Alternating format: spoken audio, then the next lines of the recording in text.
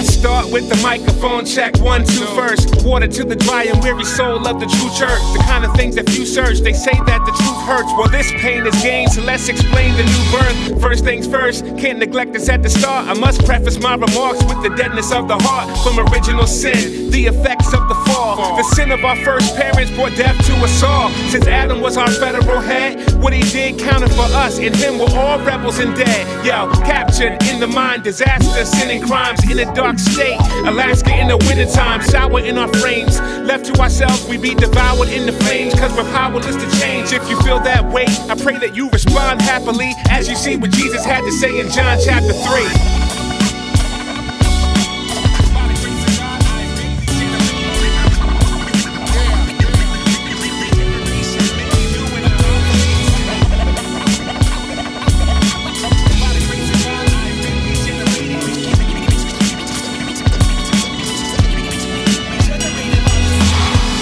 Peep this, you'll see that verse 1 is my thesis. Uh. It's the deepest truth that should get you speechless. What scripture teaches will fill in the missing pieces. Picture Jesus meeting up with Nicodemus. Perhaps it was fright about the other Pharisees' wicked spite against Christ that turned this into at night. He called him rabbi and gave him props, said he was a teacher from God. Jesus replied, made him stop. Regarding the kingdom of God, no one's going in. In fact, you can't even see it unless you're born again. That must have consumed and stretched his mind, cause he said, Can a man enter his his mother's womb a second time? Naturalistically, the only way for him to hear it. Jesus said you must be born of the water and the spirit. No other way to enter heaven.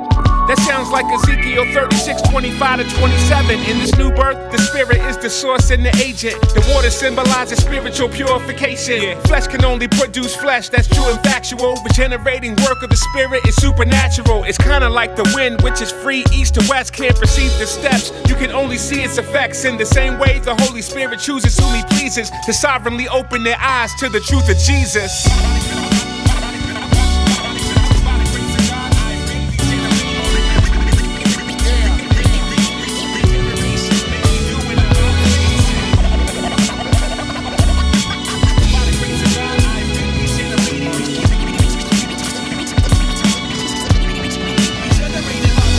If it wasn't for the Spirit's mysterious operation, uh -huh. we would all be under serious condemnation. I'd still be rejecting the Son if God hadn't said, Let there be light, like Genesis 1. Yeah, and just like the light could not refuse to shine, irresistible grace has renewed my mind. Let's exalt the King who died and truly is risen. The new birth is not the effect of human decision, but the cause. It changes our natural habitation and situation. It's a radical transformation. I was cursed and polluted, so my dirt was inexcusable with new internal pupils. His person is beautiful, his worth is indisputable. The Lamb is amazing, a standing ovation for his work in the crucible. So let us respond with true worship and love to the God who was given new birth from above.